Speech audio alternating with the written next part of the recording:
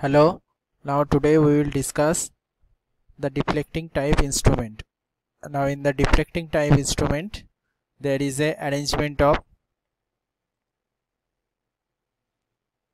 spring and pointer which indicate the measurement of voltage and current under measurement.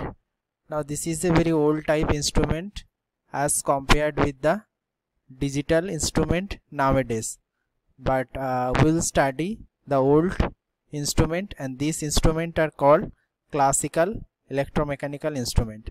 Now in this type of classical electromechanical type instrument there are mainly three type of instrument. First one is moving coil or permanent magnet moving coil that is PMMC instrument.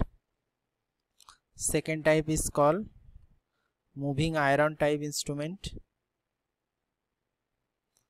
and third is called electro dynamometer type instrument. All this instrument is actually used to measure the current and voltages of unknown quantity. Okay. Now in today we will uh, discuss some features of permanent magnet moving coil instrument. Now in the case of permanent magnet moving coil instrument as the name suggests that it is this deflecting type instrument employs two magnet that is the main construction of this permanent magnet moving coil instrument. Now you can see in the diagram that there is two magnetic pole situated and in between that there is a coil resides and with the coil there is a pointer and the unknown current and voltages supplied to the coil and there is a force generated within this coil arrangement and this force is used to move the pointer according to the magnitude of the current or voltage supplied. Now this is a very basic working principle. Um, moving forward the diagram actually shows that the permanent magnet moving coil or the PMMC instrument. This is the PMMC instrument. Now in the PMMC type instrument the first one I have said that there is two permanent magnet situated. Okay. And in between that there is a coil current carrying conductor or the coil which carries the current. And now you can see that there is a flux is generated.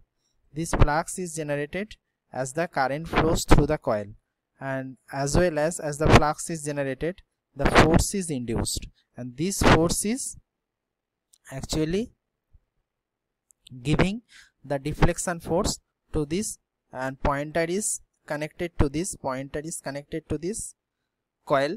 So this force is actually responsible for moving the pointer with the help of this force. So there is two permanent magnet resides and in between that there is a soft iron core and coil resides and with the uh, soft iron core coil there is a pointer attached. And after the current passing through this coil there is a flux generated and this flux responsible for generating some kind of force. And this force is responsible for moving the pointer according to the magnitude of the current and voltages. So that is the main um, working principle of this type of instrument. Okay so main working principle is flux generation after the current passing through the coil and after that the force generation. Okay, this force is responsible for moving the pointer. Next, so this is the actual spring and the this is your coil. You can see that this is your coil arrangement. Okay, this is your spring arrangement.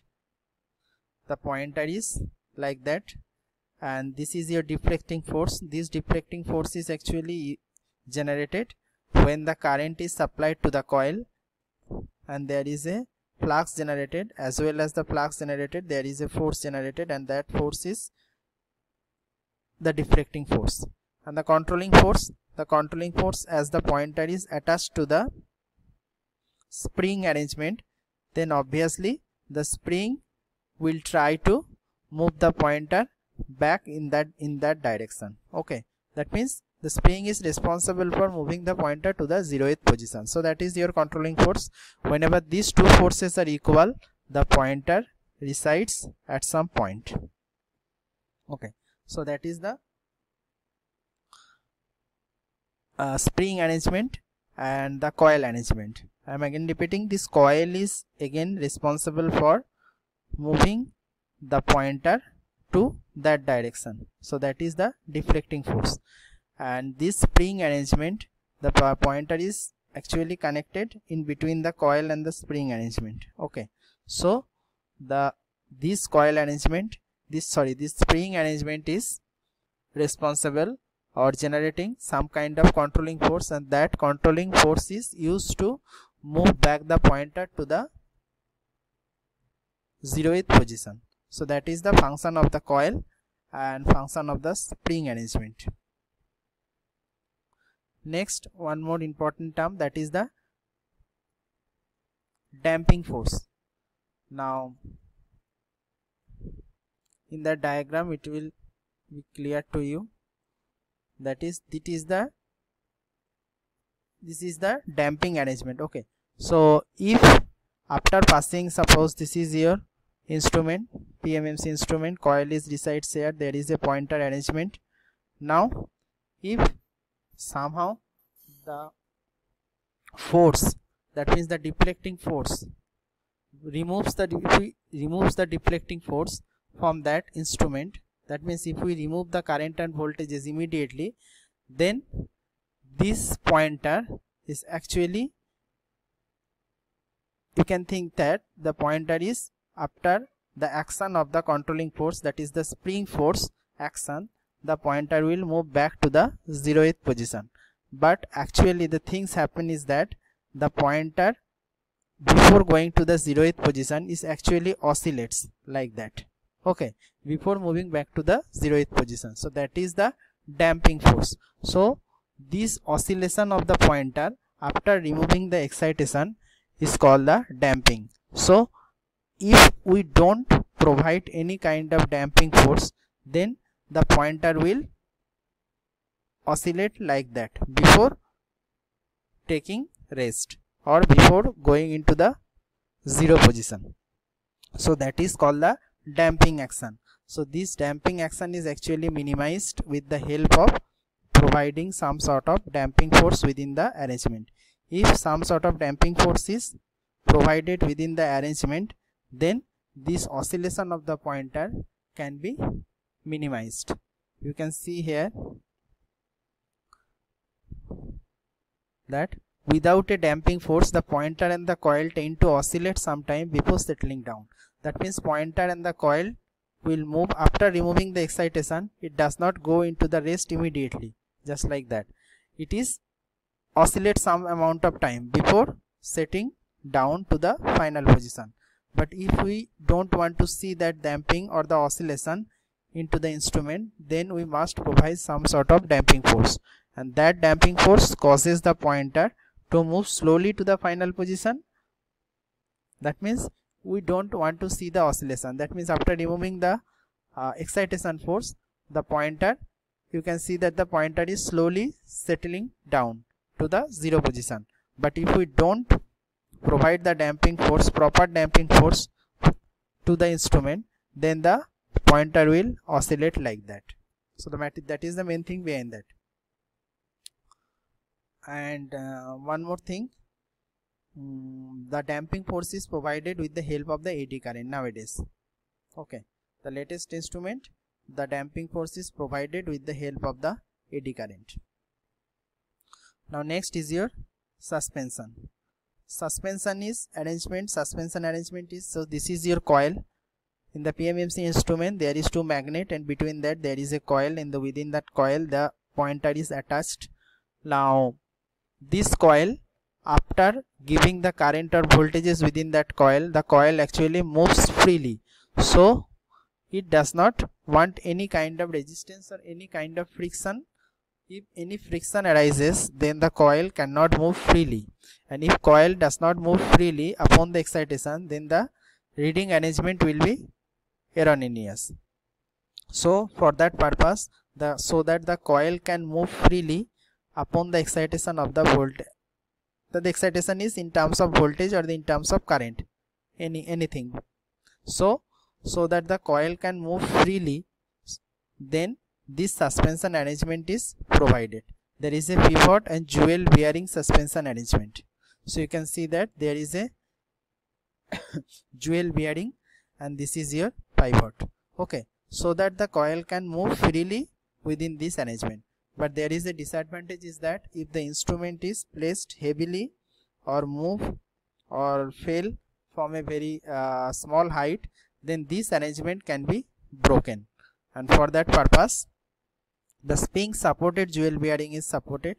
The spring supported jewel bearing is provided and this arrangement this spring is used in the bearing arrangement so that it can absorb some kind of shock so that the instrument does not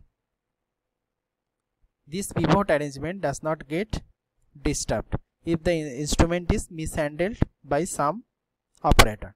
So that is the main thing behind the pivot why pivot and the jewel bearing arrangement is provided? Because the coil can move freely so that the coil can move freely and no resistance or no friction is happening inside the coil movement.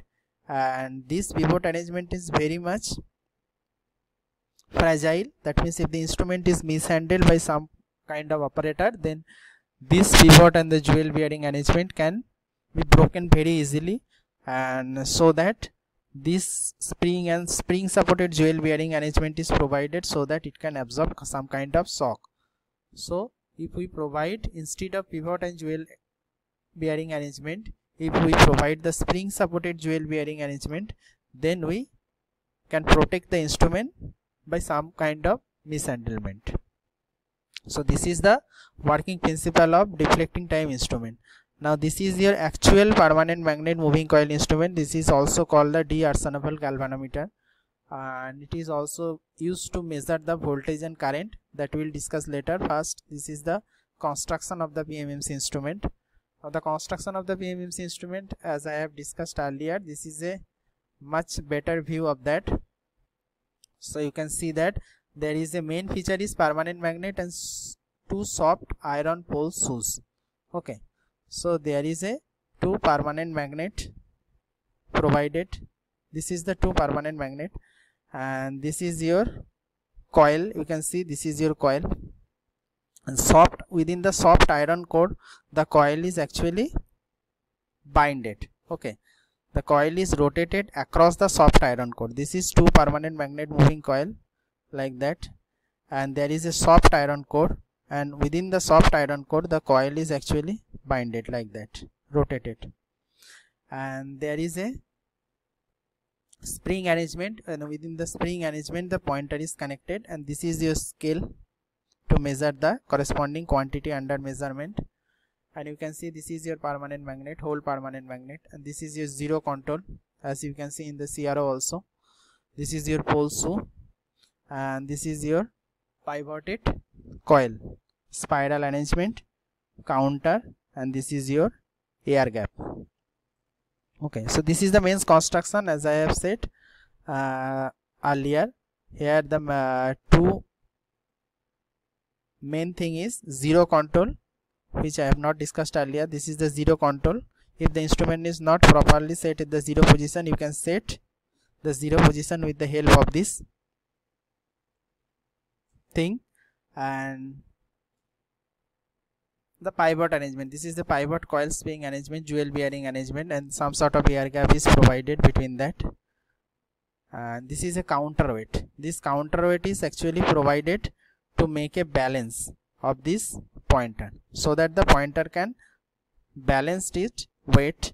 So a counterweight is provided across the or behind the pointer front and the back portion the, the back portion counterweight is actually provided. And now next uh, as I have said there is a two counterweight is provided to make a proper mechanical balance to this pointer so this counterweight is this is the counterweight. Anyways you can see that this counterweight it attached to the pointer at the back portion and this is simply a mechanical screw very lightweight which provide correct mechanical balance and nothing else. And next this is the two view of coil and magnet arrangement. So you can see this is your permanent magnet. Okay. And this is your pivoted coil. This is your pivot arrangement and this is one kind of view. And if you get this kind of view this is much better. And this is your magnet. This is your soft iron core. And within the soft iron core the coil is actually binded. This is your spring. Okay. And within the spring the pointer is actually attached. So this is all about the construction point of view. So next the torque equation. Now I have said that whenever the permanent magnet moving coil in action two forces actually working on that. First force is deflecting force and second force is controlling force. Now whenever these two forces are equal then the pointer settle down to some kind of position. So this torque equation actually reflects these two kind of force and uh, the balance of these two kind of force. Now in the permanent magnet moving coil this is your magnet this is your coil pointer is attached and uh, this permanent magnet moving coil I have said earlier that this is used or this is also called the galvanometer D'Arsonval galvanometer. So this is used to measure the voltages or currented in the classical manner with the help of a pointer of the spring arrangement.